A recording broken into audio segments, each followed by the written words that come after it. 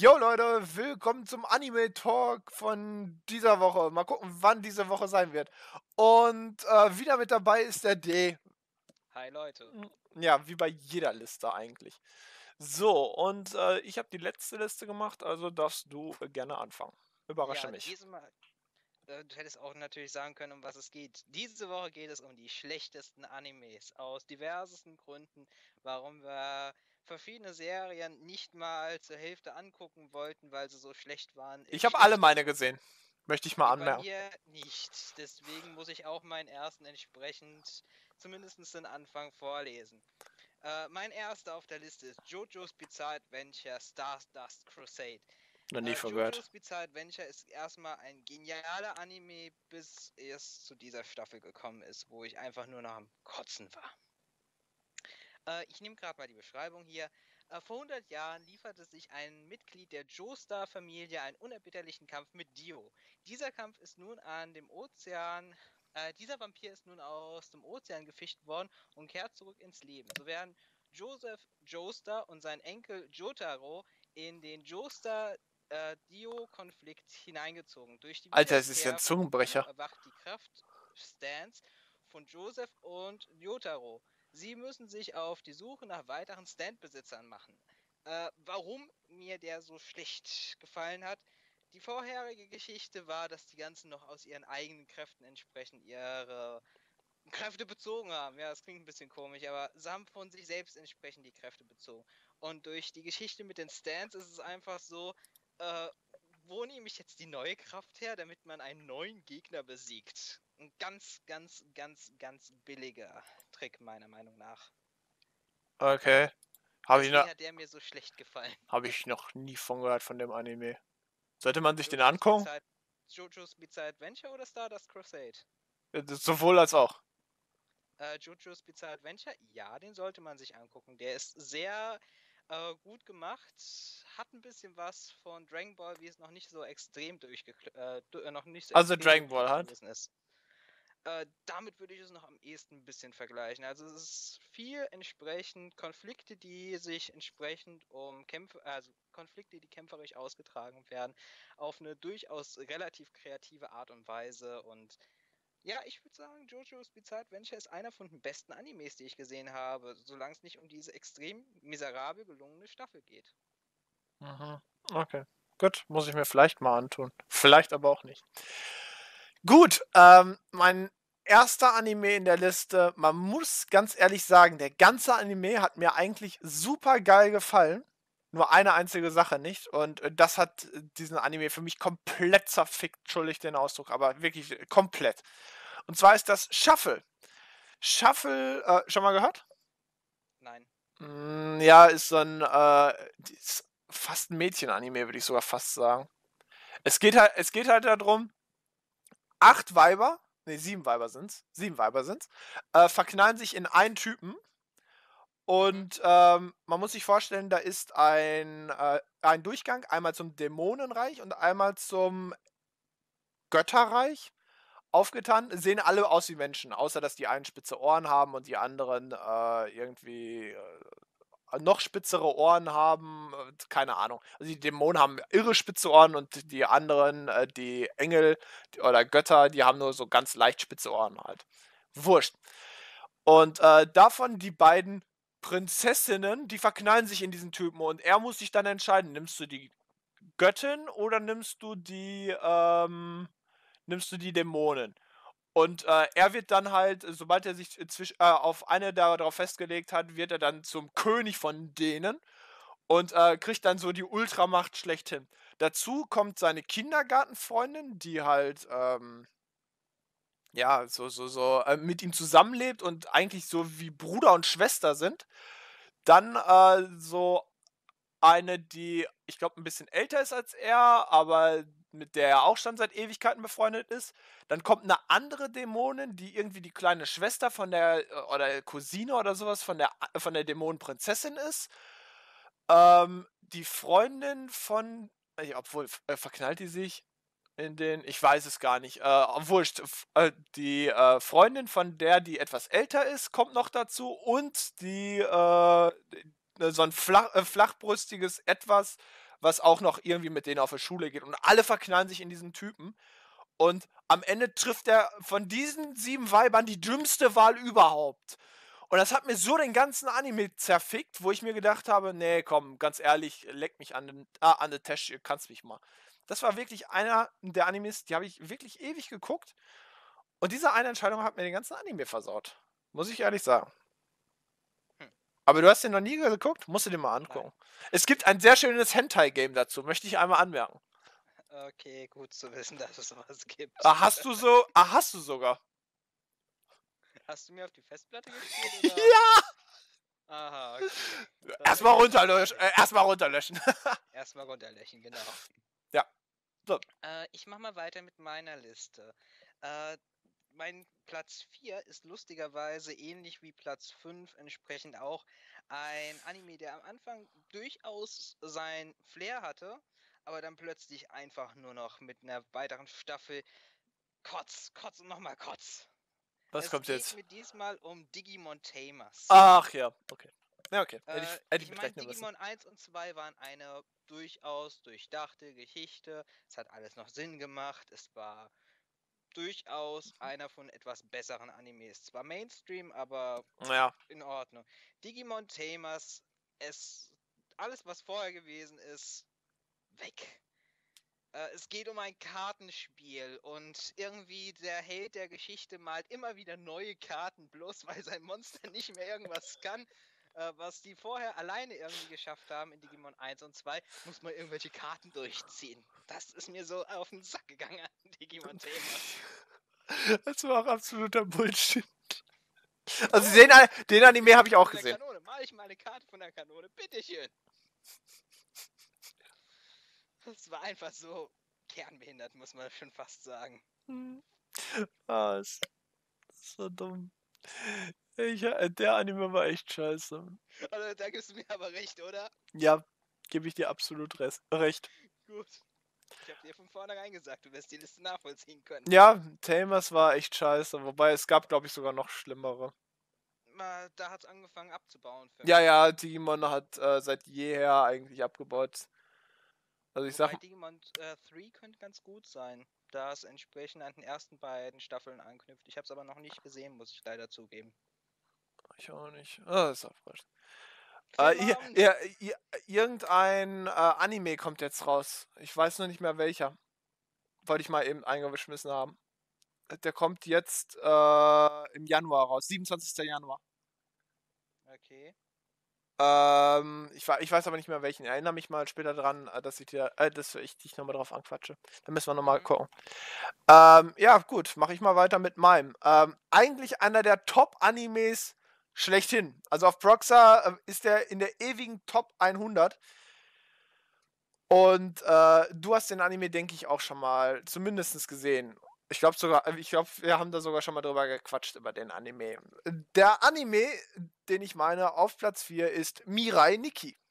Oh ja. Ein Oh. absolut geil gemachter Anime, Ja, aber schon ziemlich durch. sowas von Bullshit. In ganz, ganz vielen Sachen. In ganz, ganz vielen Sachen. Im Grunde ähm, gibt es, ich weiß gar nicht, zwölf oder so, Ja, zwölf. äh, zwölf Tagebuchbesitzer, die halt ähm, sich hingesetzt haben und Tagebücher geschrieben haben. Auf unterschiedlichste Arten und Weisen. Auf äh, Schriftrollen, auf klassisch Tagebüchern, im Handy, irgendwohin halt. Und da muss man sich vorstellen, je nachdem, was die da reingeschrieben haben, haben diese, äh, haben die Dinger dann Fähigkeiten bekommen.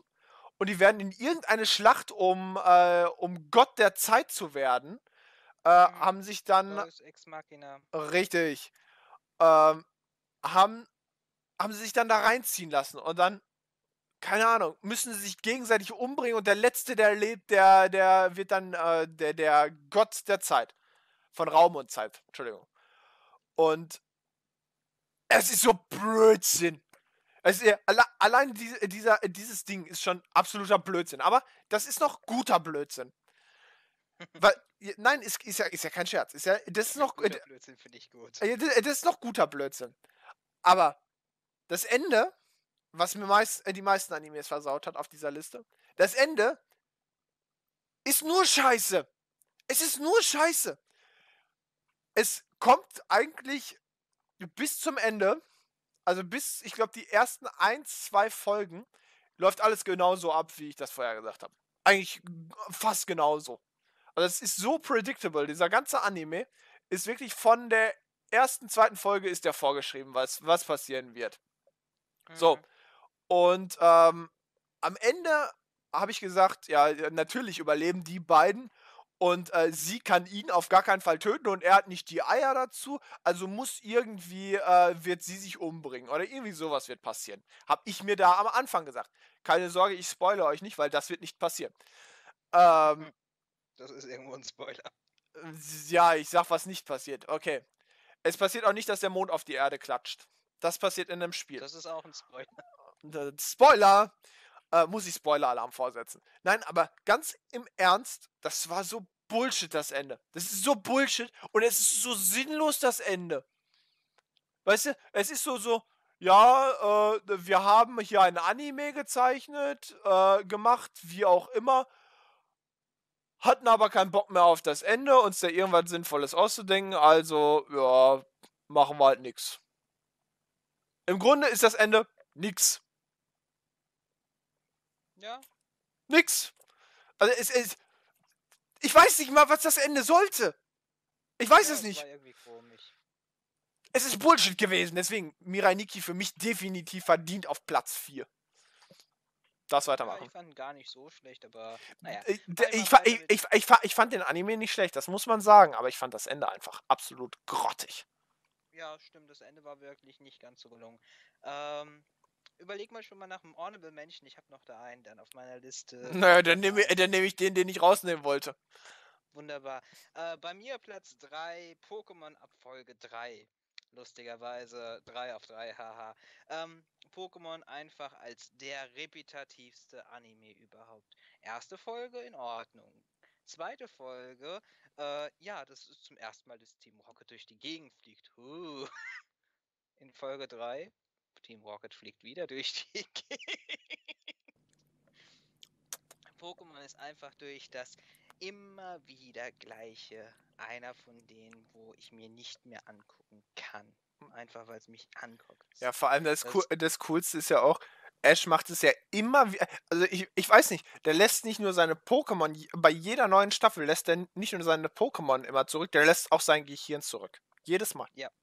Jedes Mal. Das ist der große Zirkel, der sich wiederholt. Und dann gibt es noch einen kleinen Circle of Life. der sich wiederholt.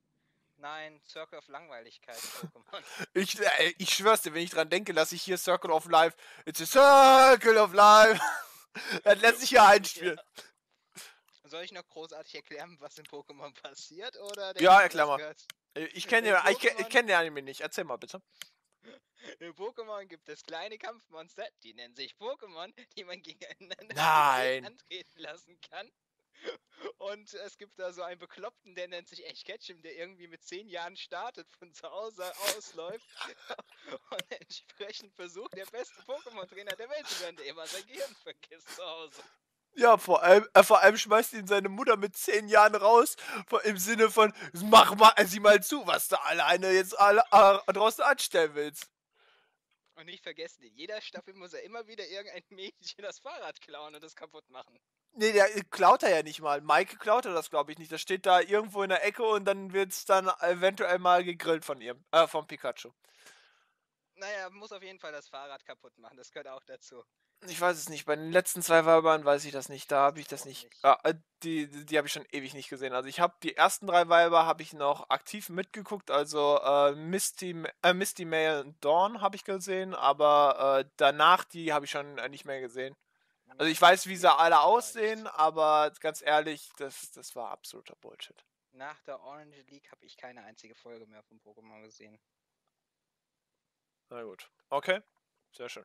Deswegen Pokémon ist für mich auch einer von den richtig schlechten, dadurch, dass er einfach sich so unheimlich wiederholt, so wie ich mich gerade wiederhole. Ja, wir, möchtest du es nochmal wiederholen? Weiter, bevor ich anfange, mich zu wiederholen. So, ab jetzt müssten bitte einmal kurz alle äh, Kleinkinder ausschalten. Okay, jetzt ist es zu spät. Ähm, mein Platz 3 ist Kiss X Sis. okay, das verstehe ich schon. Ähm, du kennst den Anime? Grob, ja. Ja. Im Grunde sagt der Titel aus, um was es bei dem ganzen Scheiß geht. Um Inzest. Es sind zwei Schwestern und ein Bruder. Und die Schwestern wollen den Bruder irgendwie vögeln. Ganz einfach. Und ähm, das ist die Geschichte. Muss man da mehr erzählen? Ah, das ist gut. Also, äh, vor allem, wirklich, alle Typen wollen diese beiden Weiber knallen. Wirklich alle. Nur der Bruder, dem ist das natürlich irre peinlich, dass die beiden auf ihn stehen. Und äh, er kriegt das aber auch nicht mit. Also, äh, er denkt immer so, ja, die beiden sind halt äh, relativ aufdringlich, aber er checkt es einfach nicht, dass die auf ihn geil sind und ihn vögeln wollen wo ich mir jedes Mal denke, boah, ey, das ist, äh, das ist so wirklich Fremdschämen. Aber ich habe den ganzen Anime geguckt und ich habe die ganze Zeit einfach nur gedacht, boah, Fremdschämen hoch 20, warum guckst du dir jetzt eigentlich noch weiter die Folgen an?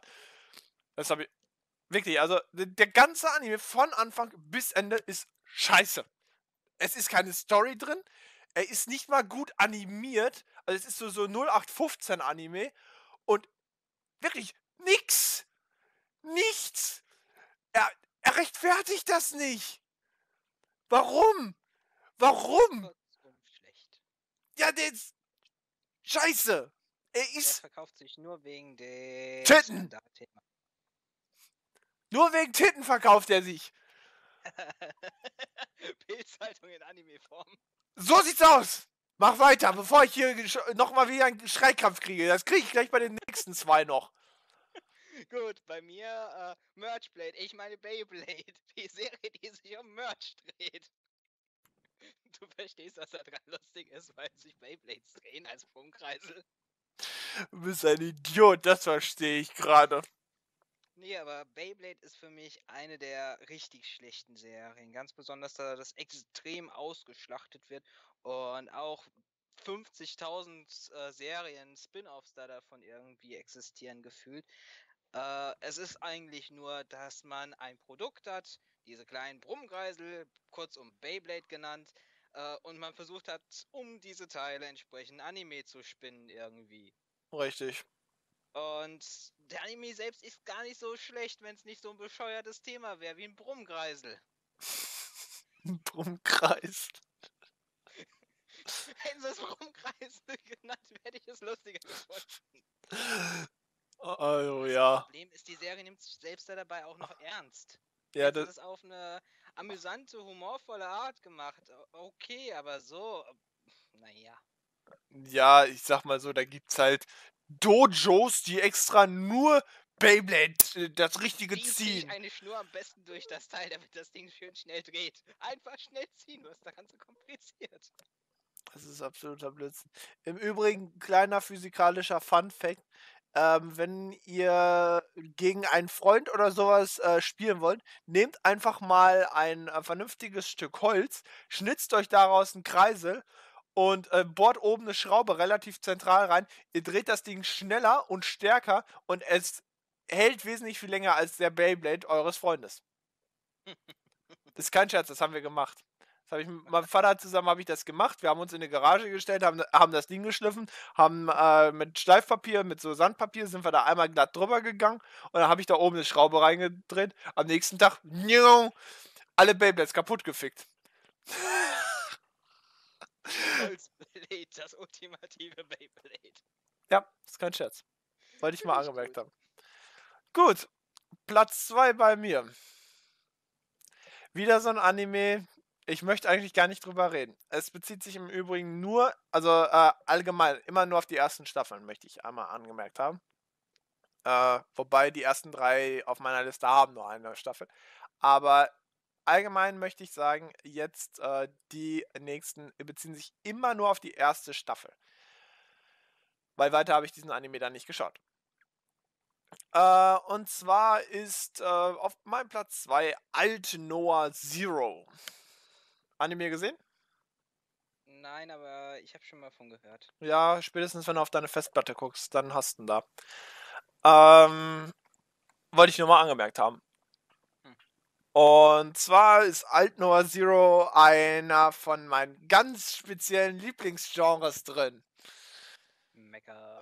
Richtig, ein Mecha-Anime. Und an und für sich war der nicht mal schlecht. Also, ähm, ja, gut, es ist, ähm, es, also die, die Menschheit ist irgendwie ausgewandert. Also es, es gibt wohl auf äh, dem Mars gibt es halt eine Kolonie. Äh, das sind die Versianer.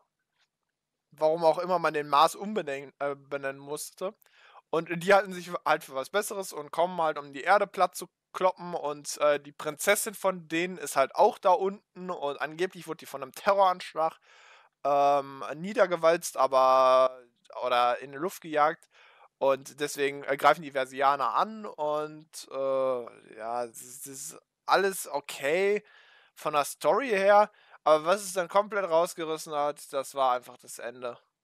Äh, wirklich, denn dann äh, wird da einer erschossen, wo man nicht mit gerechnet hat und äh, allgemein der, das Ende, das war so so hirnrissig. Also schon in der Mitte des Animes wird es irgendwie absolut hirnrissig, weil das sind alles so arrogante Fatzkes, weißt du, wo es normalerweise im Anime so einen von gibt, wo du direkt weißt, das ist der Böse. Oder das ist so einer wie äh, Professor Snape, der ist zwar arrogant, aber ähm, der wird am Ende vielleicht noch gut. Aber Mhm. da sind das alles solche Idioten. Das sind alles solche Wichser. Wo ich mir jedes Mal denke, boah, nee, komm, lass stecken, ey. Und trotzdem, äh, das ging mir so auf die Nüsse. Die Typen gingen mir so hart auf die Nüsse. Und allgemein, äh, durch den Anime habe ich mich eher durchgequält, als dass ich da gesagt habe, äh, der war jetzt richtig, richtig geil. Den habe ich total durchgesuchtet. Und gerade das Ende hat es mir einfach total versaut. Muss ich ehrlich sagen. Also das Ende fand ich richtig schlecht. So. Aber bevor wir zu Platz 1 von uns jeweils kommen, da äh, dürfen wir einmal Honorable Mentions sagen. Also das hast einen, ne? Ja, ein Honorable Mention. Äh, bei mir, ich werde wahrscheinlich viel Hater dafür kassieren, aber Jetzt bei kommt's. mir ist Dragon Ball Super entsprechend durch die letzten zehn Filler-Folgen äh, einer der schlechtesten, die je gemacht worden sind. Ich meine, Dragon Ball Super hatte viel Potenzial am Anfang, auch wenn die Animationen äh, durchaus sehr grotesk aussahen. Man erinnert sich 0815 an- ist er. Nein, nein, nicht, nicht 0815, richtig schlecht. Es gibt Szenen dabei, da sieht Goku einfach richtig schlecht aus. Als dreifacher Super Saiyajin grausam. Es gibt Szenen, in denen entsprechend Vegetas Augen gute 5 cm wandern, während die äh, Szene gerade passiert. Also sind teilweise echt Animationsfehler, wo richtig grausam sind. Aber äh, das Schlimmste eigentlich, ganz besonders jetzt in den Filler-Folgen, ist dieser aufgesetzte Humor, der Ja, einfach übertrieben ist. kann ich Ich mein, nachvollziehen. In Dragon Ball äh, GT war die Story halt kompakter irgendwie, da hat man gar nicht den Platz da dafür gehabt. Aber das könnte die Serie zum Schluss gerettet haben gegenüber Super, was im Moment so ein bisschen, naja, einfach nur grotesk für mich wirkt. Mhm. Besonders hast du die Folge von heute schon gesehen? Nein, habe ich noch nicht. Nicht spoilern. Ich, ich nenne dir nur den Titel da davon, das dürfte reichen.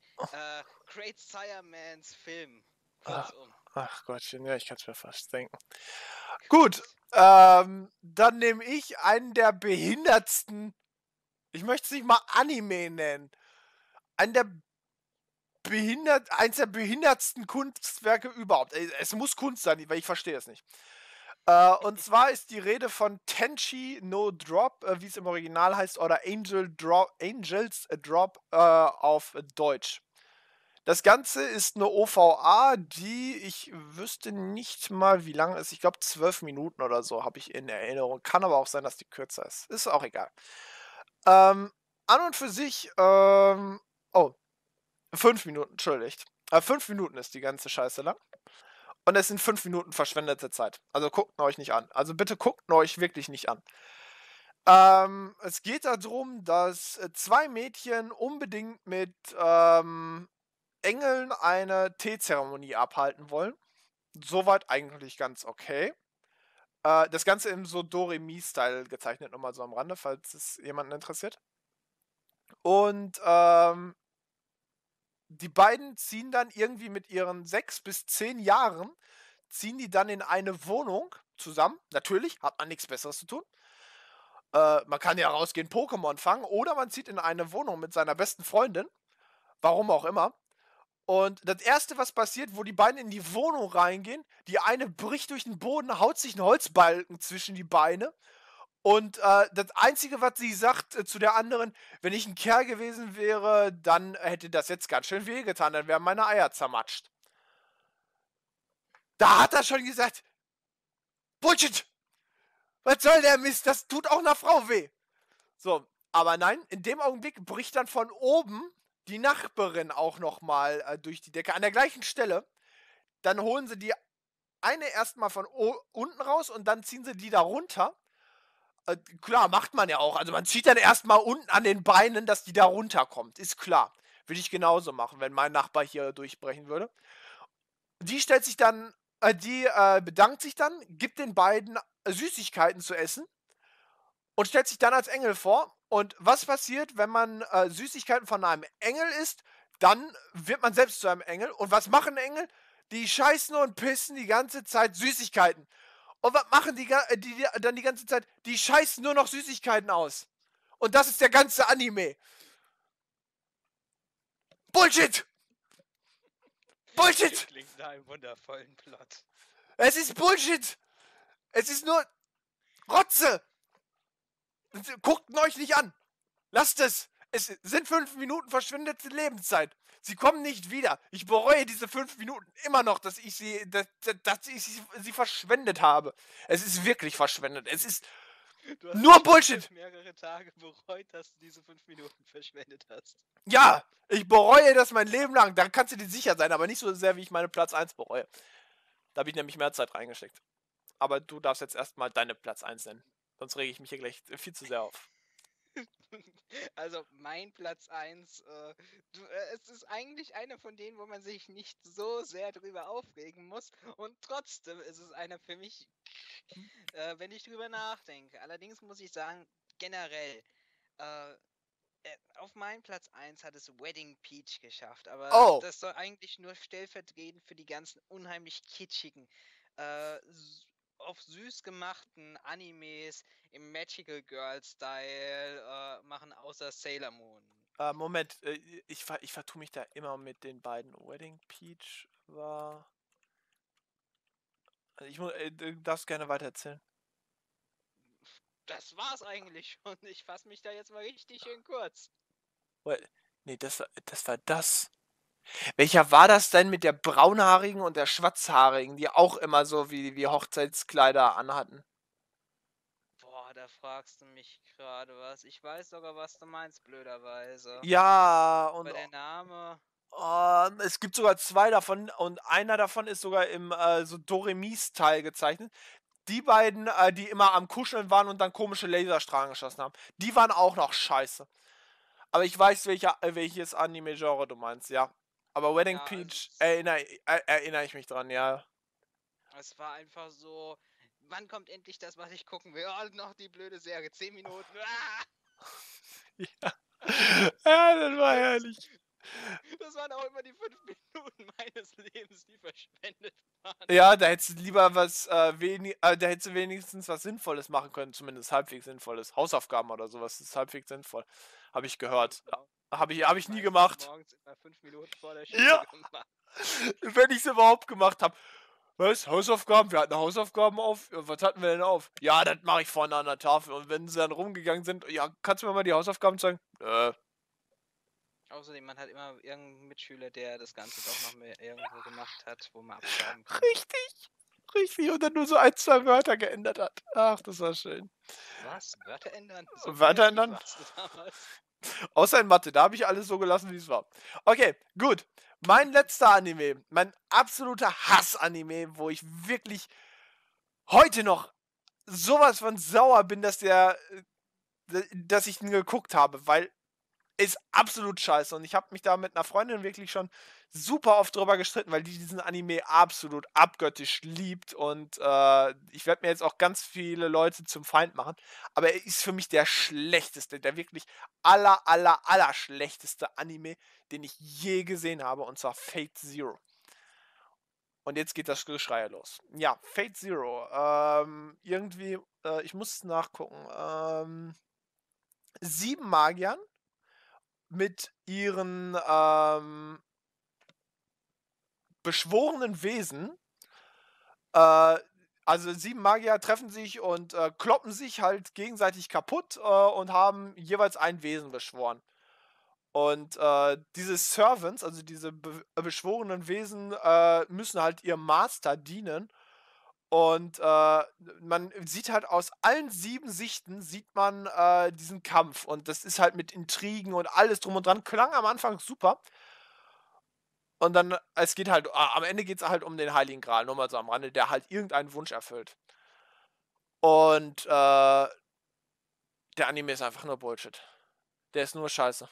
Also mal ganz davon abgesehen davon, dass die letzten zwei Folgen irgendwie sowas von gequetscht werden. Weißt du, vorher wird das so aufgebauscht, weißt du, so, so im Sinne von, boah, da kommt so das mega Ende. Und dann ist äh, das Ende absoluter Bullshit. Weil du weißt bis zum Ende nicht, wer gewinnt. Ich weiß jetzt noch nicht, ob, ob der wirklich als Gewinner da zählen sollte oder ob der eigentlich einfach nur äh, von Anfang äh, bis Ende eigentlich nur verloren und auf die Fresse bekommen hat, der offizielle Gewinner. Ähm, und das war, das war meiner Meinung nach das ganz ärmste Würstchen, das da rumgelaufen ist. Und der, äh, dass der das Ding nachher gewinnt, ich, ich fand den Anime einfach scheiße. Ich fand den Anime äh, von Anfang bis Ende wurde der immer scheißiger. Der war am Anfang gut, so die Idee, äh, Ja, ist es. Ich habe es ja gerade gesagt. Ähm, ich hab, äh, von, Anfang, äh, von Anfang, da habe ich gedacht, boah, der hat aber Potenzial, der kann, das kann was werden. Und dann ging mir da irgendwie von diesen 14 Hauptcharakteren, weil Master und halt äh, Servant, äh, ging mir dann irgendwann, ich glaube, 10 oder so voll auf den Sack. Also wirklich auf den Sack. Wo ich gedacht habe, mach den einfach weg, knall dem irgendwie in den Kopf und dann ist gut. Ich fand den Psychopathen fand ich sogar noch am, am lustigsten. Den fand ich sogar noch am nachvollziehbarsten. Der hat noch am logischsten gedacht. Wir wollen einfach nur abschlachten. Aber der Anime ist scheiße. Der ist richtig scheiße. Der ist mega scheiße. Ich weiß nicht, äh, also ich, ich wüsste nicht, ob ich Tenshin oder Drops äh, noch drüber setzen würde, aber wenn ich, wenn ich wirklich Anime-Serien nehmen würde, zählt Tenshin oder Drops halt nicht und dementsprechend äh, ist Fate Zero einfach nur Kacke. Richtig scheiße. Mega scheiße. So. Und bevor ich hier einen Herzkasper bekomme, würde ich sagen, wir bedanken uns. Hast du noch was Ja. zu sagen? Äh, nächste Woche machen wir entsprechend das 10 stärksten Videos. Das weiß ich noch nicht, aber da müssten wir uns dann einig werden, weil äh, irgendwie äh, zehn Leute, unterschiedliche Leute. Äh, das, äh, das können wir Ja. gleich besprechen. Da setzen wir uns jetzt nochmal hin und machen entsprechende Liste und dann machen wir Oh, mal richtig. das Ganze nicht separate Listen, sondern wir machen dann eine zusammen. Oh, richtig, genau so sieht's aus. Gut, Leute, wenn es euch gefallen hat, lasst ein Like, da würde mich auf jeden Fall freuen. Äh, den D auch. Also wenn ihr den D auch mögt, dann dürft ihr dem auch gerne ein Like da lassen. So, bye bye. Haut rein, ciao, ciao.